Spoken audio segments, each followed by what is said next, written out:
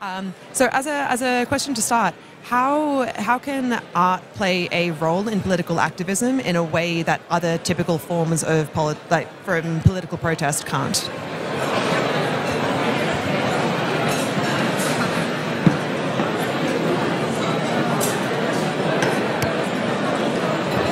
Do you want to? Maybe why is getting uh, her headset up. Do you want to answer that, Tania?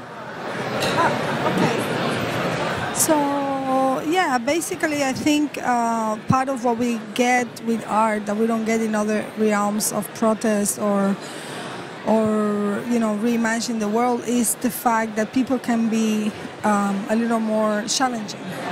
You know, you can be more disrespectful. You can be more um, go to zones of non-comfort, neither for you or for the person. And I think this is, um, I think, is a very useful tool to to question what we're living around because we are too polite. I think we are too polite. and then sometimes you forget that in order to generate change, you need to be direct and talk, you know, speak to power, you know. Well, Hito, what about you? Maybe you could give us an example for people who haven't seen your work before of uh, a time that one of your ideas for art has actually impacted real change, whether that is politically or getting people who have experienced one of your uh, um, exhibits to change their mind about something. To be honest, I don't know. Okay. Um, uh, one thing that I find really interesting about this, uh, the concept of the collective as well, because even as an artist, that is an individual way that you can then uh, impact a larger group of people. Um, I just recently got back from Cuba earlier this year, where I got to um, to feel like the collective of the power of Cuba. Um, how can you try to use art in order to get a large group of people to change their minds about something, rather than you just personally impacting something? I, know, I mean, there are different ways. It's not only one way, but I think also, like you doing your work, knowledge is important. You know, this idea that through the work we, at least every time I see your work, I, I learn something that I didn't know. Um, and I think in, in my case is that, like, how can you provide information in a way that is, uh, I don't know, for people to, to understand what's going on. That's what I think when I see your work sometimes. Like I learn through a different wire. It's not like direct knowledge. Like it's not the definition. It's more about I don't know.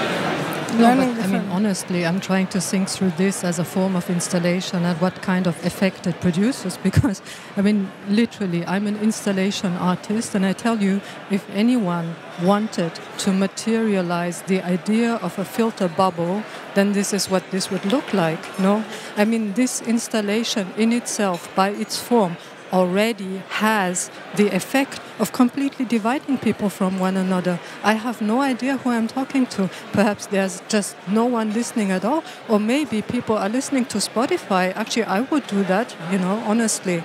So, I mean, what kind? This is not a public sphere. This is not a public discussion. This is something I've called in my writing a pubic discussion, right? Yeah, is when basically the concept of public does no longer exist because people are isolated, they are atomized within their headphones, within their sphere of intimacy, and yet there's the pretense of that being some kind of public. This is not public. This is a filter bubble. This is the Airbnb of, you know, a public staging. This is ridiculous. Sorry. What would you do to change it, or what, eh, or what in this moment that you have right now do we want Well, to do I, to change I it? will just address it. I mean, what, what else can I do? No?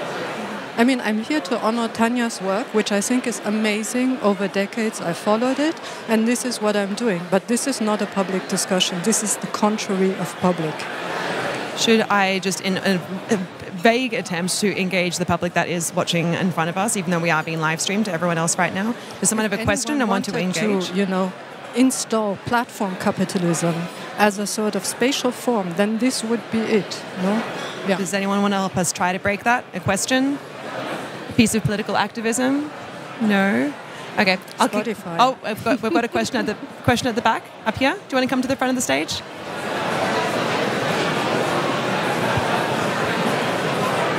I agree Sorry. with you because we are in display also. Yeah. We are being displayed. Yeah, yeah. Like, it's It's, like- uh, Thank you very much. So I was just completely intrigued by the work you're doing, and I was just wondering whether you could tell us a bit more about the work you're doing because I really like the examples you showed to us. Thank you. Uh, the work I'm doing right now, you mean? Okay. Uh, so right now, I'm a little frustrated because I want to do work about Trump, but he's changing all the time the stuff, so I cannot follow him. So that's the frustration I have. But I think also part of what I do is uh, long-term or short-term work. So sometimes the pieces I show is very short-term, so it's just something I do to create some reaction and discussion. But then I do, I do this piece, which is the Institute of Art and Activism, which is a long-term, maybe 10, 15, 20 years piece. And uh, it is important uh, for me to understand what needs time. Sometimes when you make just a judgment or, or a quick uh, assertion in the work, uh, there is a violation of time in a way. So you are. Um, uh, I, talk, I talk about the political time. You know, this is why I like the idea of political timing because uh, sometimes many things that we see is just a kind of abusive, uh, forcing political moment through art instead of giving the time for people to develop with it. So I think this is, uh, I go between both. So I think some ideas need to be aggressive and needs to be like, for example, Hito's statement about where we are right now. I love it. That needs to be addressed in a very clear and rapid way. Other things are about building up uh, different, like different social, I don't know, rewiring or something like this. But um, so I'm working now in the institute in Cuba and uh, inviting artists like hopefully Hito one day uh, and other artists to come and share their experience uh, and react to that reality. I think it's really interesting that you bring up the concept of time. The last talk that we saw, Maryanne Wolf was talking about like the importance of deep reading and contemplation. And I think that's another way that, as opposed to, I'm a, I'm a journalist, and I think that we will absorb the same uh, the same message, a political message, differently through a 400 word article that we read on our phones, rather than something that you take the time to actually experience in an art gallery. I'm, I'm curious, what other aside from Trump, what other areas are you looking at to agitate right now? The neo-fascism that's going around in the world now. Um, it's interesting because. Uh, it's very easy to criticize the ex-socialist places, you know, and the failure, but we are right now seeing the failure of, hopefully, the failure of capitalism, I hope. I don't think it's going to be the total failure, but it is at least a crisis, and um, yeah. So I think this neo-fascism as a solution is related to time because it's a way to, to solve things quickly instead of taking the time to building a community, building uh, ethics, you know. Oh, so you live here. Maybe you've seen yes, it. I mean, one also has to say that the fall of the Berlin Wall, at least in Germany, is the starting point for the renormalization of racism, anti-Semitism, violence against foreigners. This starts with 9th of November 89. You know, people were asked today, what did you do during the fall of the Berlin Wall? But what did people do all these 30 years after, right? I mean, this time is completely swallowed. And I can't tell you what happened these 30 years after. Racism, uh, anti foreigner sentiment, and neo fascism got normalized also in Europe, not only in the United States, Eastern Europe, basically in, in, in all around us. Um, I, I, recently really enjoyed, although from afar, your 2019 Venice Biennale installation, which was all about AI and kind of the impact that it has on us. And for me, I was just thinking of Shoshana Zuboff's uh, um, wonderful, wonderful words before. Um, I, if you guys both watched her discussion, was there something that maybe jumped out about like truth that she was bringing to this? Well, I agree, 100%. I think she was very, very clear and the thing that happens today is like all of us are too passive.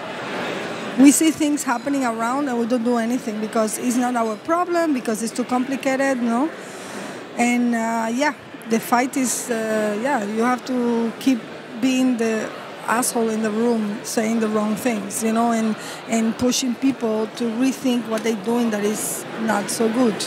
Well, you know, and this part of this timing, everybody wants to have fun and quick. You know, everybody wants to have things fun and quick. With jokes. TED Talk style. Yeah. Did you just bring Yeah, us yeah. something that you want to show us? This is my newest gadget. It's really ah. revolutionary and futuristic. It's a non-smartphone. It's a dumb phone. I think this is really the future. And I think this is also what Shoshana Zuboff was talking about. No, I mean, I was one of the persons who started very early to do work about the digital sphere, the internet, blah blah blah, and so on. I'm also one of the person who is evacuating first, and I think this will start. This will continue to happen. So, what is the way that your life has changed now that you've started using the dumb phone rather than the smartphone? Uh, part of it is more complicated, but uh, it's just so much fun using it. It's worth it. Um, I've got friends who have dumb phones and they use them as bottle openers because they're not afraid of like breaking the glass. It's a very Australian thing for me to say. you can throw them. No, that's a very good thing. It's an object value also. uh, just to continue being the assholes in the room. I like this. Um, uh, I, I also want to bring up. I'm, I'm really into the. Uh, you you both have criticised the arts funding model in in the past, and you know the arts funding model or the Tate Modern and how that got redone. And um, you've always been very anti-Sackler and anti other. So I'm I'm curious what can be done in order for like these these kind of interventions. They do take money, and that's either your money, someone else's money. And I think it's very important that we can continue supporting artists to do this important work. But how would you But fix the funding model? This is we always. I, at least as an artist, I always find that I am in a in a um, um, kind of uh, blackmail by institutions because they always say, "Oh, we need the money." Yeah, but first of all, part of the problem is like we need to demand to the governments to give money for the arts instead of trying to to find more rich people to give money for the art alone you know?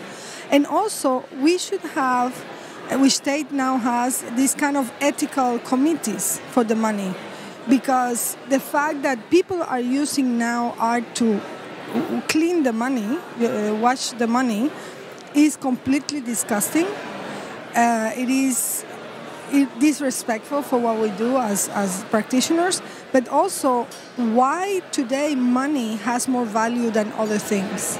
That's precisely what we wanted to do with changing the name of the building. And we use very consciously the word value and contribution in that little plaque that we put because we wanted people to understand that contribution is not only money. This is part of what we live in right now. We live in a society where people only value money.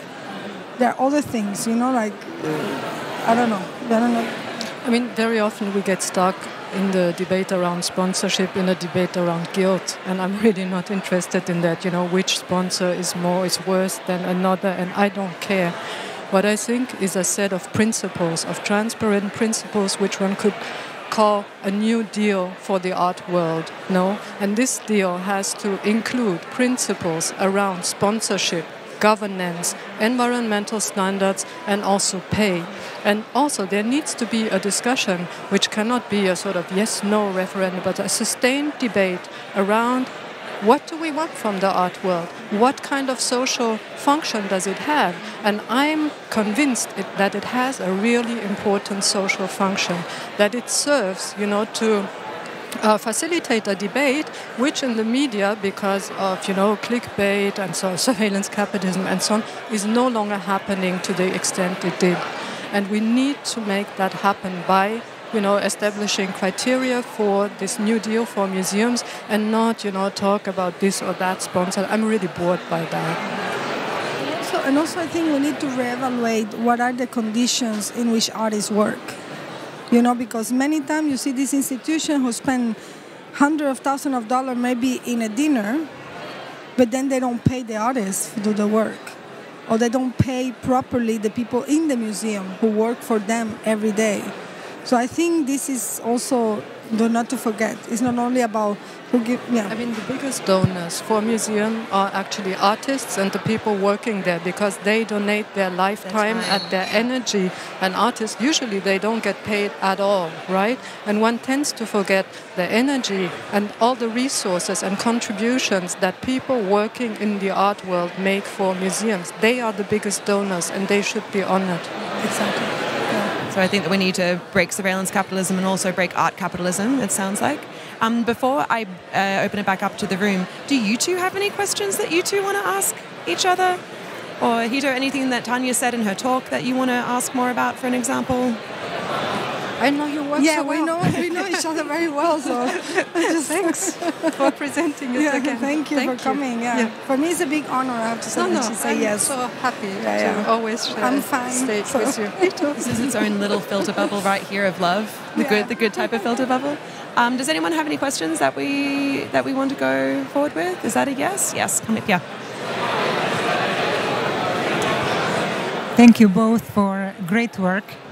Um, I'm interested in the role of art in the society. If we look at the global development goals, you know, the 17 goals that we have, we see that art and culture are literally not represented. There was, however, a group that did represent the art world as part of the civic society, but the voices didn't come across. I've been lucky to be part of the discussions, but it was interesting to see that the art sector, you know, wasn't mobilized or maybe didn't speak the languages to connect to be to become part of these processes. And another uh, and related question to that, maybe I share just another example. Uh, last year, we submitted a big international proposal, Challenge Value. How can art uh, challenge value? Working with other disciplines. It was a proposal to European Union for Horizon 2020. We, we did not get it. We will pursue because we believe this is critically important. And I would like to ask you, uh, where do you see spaces where these conversations are happening? uh, not just happening, but where action is happening, and how can we collaborate to take this further? I think it's essential, and the time is now. Thank you. I think we should not have any expectation of art because I'm very nervous every time art is taken so quickly into these kind of global discussions because what you have is a is a watched out version of art meaning the goody goody version of art where everybody's happy. And my personal way to approach art is not to make people happy but is to make people think and make make people sometimes reevaluate what they have done um, and for that, you have to address things that are uncomfortable. So, part of the problem of the role of art, when we talk at this huge UN level or big level or, or global or this kind of conversation, is hard because you saw the, let's say, the reduced version of my work. One that is only literally the coach help us to say, oh, you're talking too much. Just make one point. And you know, in a way, it's hard because it is simplifying. This is a problem we have with art becoming part of these discussions today. That it is becoming a fac- uh, facilista, like uh, the easy version on itself, where the actual potential it has for change and for and for disruption is eliminated. No, and then this is I don't know. I mean, I am with you. I think we need to put art in, in as art and culture, which is two different things, in here. But we need to not wait anything from art. So let the artists do what they do, you know, because this is also a problem that sometimes you participate in project, people expect that you do certain things, and then it's then you're not doing art. You're doing, I don't know, like a What someone's asked you to Excel sheet or whatever, you know. So yeah. Hito, what about you? What do you feel about government's involvement in arts and culture? If it should stay out or if it should actively support? Well, of course, I think they should actively support because this is a this is a public matter, right? And they are responsible for it. I think many of the problems with sponsorship, sponsorship, which we have seen over the past years, come from the fact that so many arts and cultures budgets have been completely slashed, no, or widely slashed. They are consequences of austerity. So I think the question is really do societies think that art is a public good or not? And if yet, then of course it should be funded by public money. Yes. Can we get a raise of hands for who thinks that art should be a, considered a public good? Thank you. Yeah, sure. One, more, one last question, then we're probably going to have that. I had to giggle when you showed um, how you were reading Hannah Arendt through a speaker on the street and the reaction in, in building roads next to your house. Uh, what is the situation for you right now? What are the working conditions for you in Cuba? I mean, you are still working in there. Uh, you're not being kicked out so far. So, how do you manage? No, no. Um, one of the technique of well, first of all, I laugh now because time has passed and I have digest all my pain, and I want to ridiculize the government uh, as my, I don't know, my revenge, let's say, for what they do to the artists in Cuba. But it is a painful process, you know. Here you show it and you make it easy, but it is a painful process. And in this moment, um, one of the techniques the government uses is to make people tired of you and your problems. So, for example, we have artists right now. We have an artist that every week is being picked out, picked, picked, picked, and put into jail for a day or two. Of course, the first day he was put in, we had 300 likes, uh, free, free. But by the 10th time they're doing this, he had three likes, let's say, in Facebook, and all my friends in Cuba like, oh no, again, you know. So one of the tactics they use is this. So what I have done, because I work for the Not Yet, so the Not Yet is also a way to see it as a system. So you know, kind of think what would be their next step, and then you you position yourself there instead of here today. So which I know they were going to do this to me, so I decided to be out of Cuba for four months or five, so people rest a little bit about me being in prison. So next time uh, they, you know, and I'm trying to actually, I don't want to be in prison. I don't want to be taken in prison. I don't think this is wrong. I, I don't enjoy it. But um, this is why in the institute we're trying to do our work on spite them. So if they take some of the people collaborating with us for interrogation, then we next day we do the event. So we never suspend any event. We always do event. We invited at the very beginning people and uh, they say you cannot go to Tania's house for the workshop, and then we did it in the park. You know, so it is not about um, because when this kind of totalitarian system, where you confront them, you give them power. So it's about how can we take the power out of totalitarians, and this apply for here as well, by the way. Yeah. So, yeah. It's all that we have time for, guys. Thank you so much. Thank you, Hito. Thank you, Tania. Um, and we will see you next year at the 31st anniversary of the Falling Walls. Thank you.